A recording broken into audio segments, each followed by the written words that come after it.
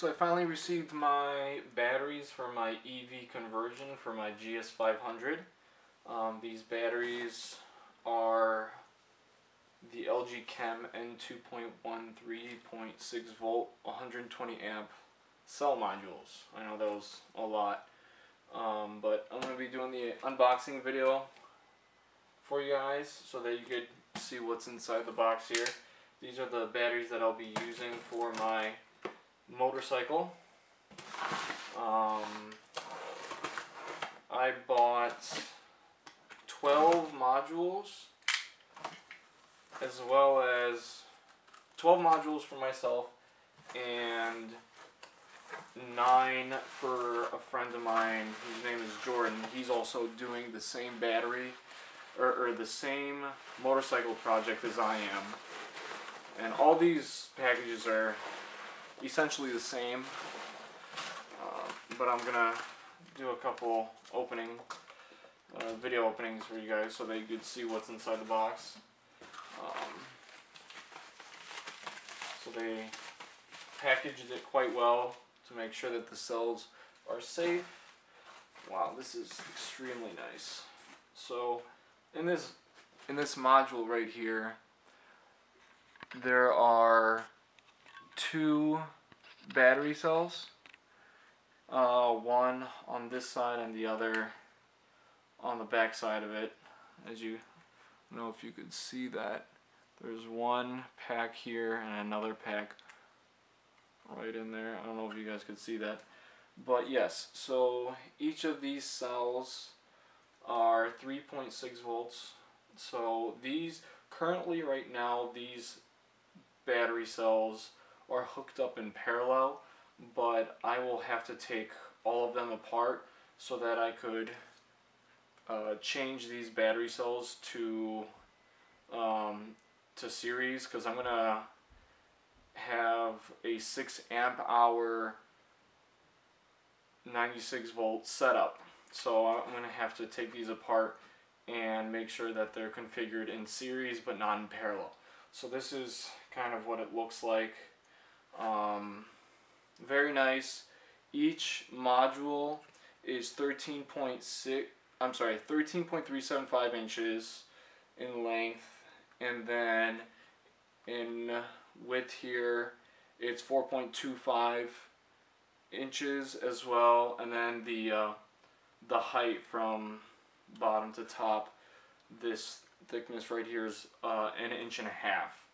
So those are some of the dimensions um, and then with this whole module it weighs about four pounds and five ounces so it'll it'll start to get heavy, but I'm not sure what the entire weight will be once I'm done with it because I'll be installing this into uh, a battery box.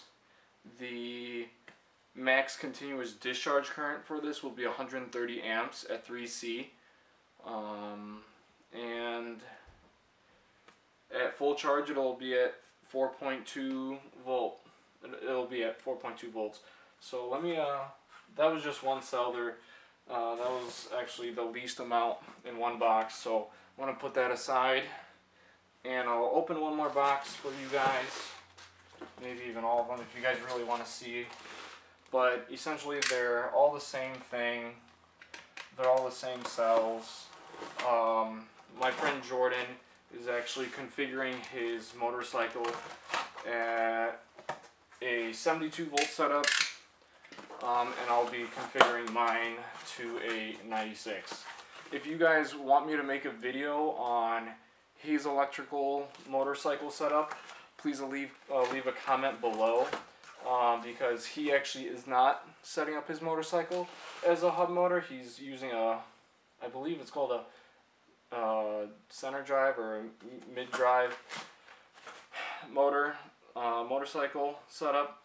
So he his, his uh, electrical motor is not built into the wheel, it's built into the frame. So here's one module, here's one, and then, oh wow, they really packed these up, they crammed these up. Um, if you could tell, there is so they place this one on top. And then one two three four are sitting nicely.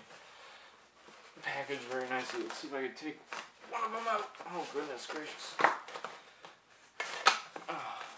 So like i said they're all the same thing um, i did also buy Kapton tape which does not include uh, that does not come into these packages.